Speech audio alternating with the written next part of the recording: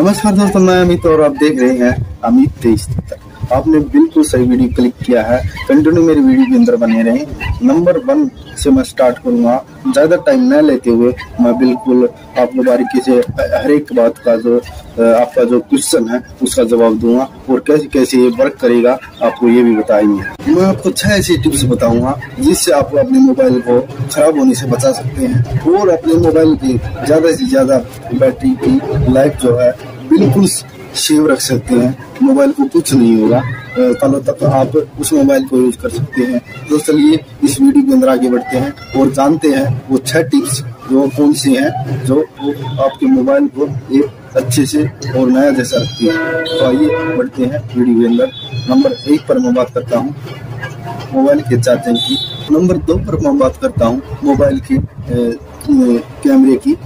जो कैमरा है मोबाइल का बार बार यूज़ करने या फ़ोटो लेने से आपके मोबाइल की जो बैटरी है, उस पर प्रभाव पड़ता है। हाँ दोस्तों, बिल्कुल सही सुना आपने। कैमरे से भी आपके मोबाइल की जो बैटरी पर है, वो पूरा असर पड़ता है। नंबर तीन पर मैं बात करूँगा। मोबाइल में जो गेम होते हैं, उसको हम खेलते रहते हैं। खेलने के बाद आप इसको इंस्टॉल करते हैं जैसे कि आप इसको इंस्टॉल नहीं करेंगे तो आपके जो मोबाइल की जो बैटरी है, उसको बिल्कुल वो खर्च करता रहता है तो इससे मोबाइल की बैटरी भी खराब होती है।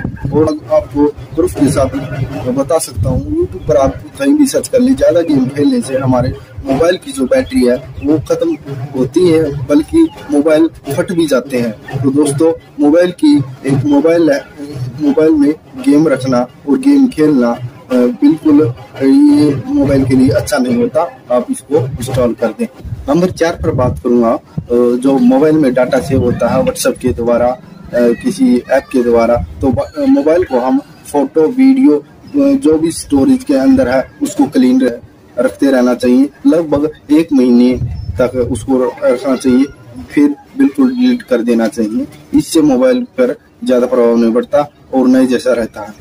नंबर पाँच पर बात करते हैं मोबाइल की जो ब्रिंगनेस होती है लाइट जो जो होती है कम ज़्यादा करने की, उसको बिल्कुल बीच में रखना चाहिए। ज़्यादा हैवी लाइट करने से ब्राइटनेस तेज करने से, उसको मोबाइल पर हीट होने का ज़्यादा चांस रहता है दोस्तों। तो बिल्कुल इसको कम करना चाहिए। नंबर छह पर बात करता हूँ, जो मोबाइल के अंदर हम सॉन्ग बजाते हैं ऑडियो वीडियो जो वॉल्यूम होती है, उसको हमें बिल्कुल मीडियम रखना चाहिए। ज़्यादा आवाज़ में नहीं बजाना चाहिए या फिर आप एक एक घंटे से ज़्यादा यूज़ करेंगे तो आपकी बैटरी पर इसका बहुत ज़्यादा असर पड़ेगा और आहिस्ता आहिस्ता आपकी बैटरी कम चलने लग जाएगी।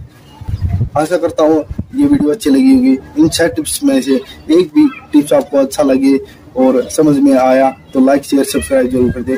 तो दोस्तों, ये छह टिप्स हैं, आपके मोबाइल को एक अच्छा परफॉर्मेंस देंगे और लाइफ टाइम तो मोबाइल चलता नहीं। मगर आशा करता हूँ कुछ साल आप अच्छे से इस मोबाइल को, कोई भी मोबाइल को इस प्रकार अच्छे से यूज़ कर सकते हैं।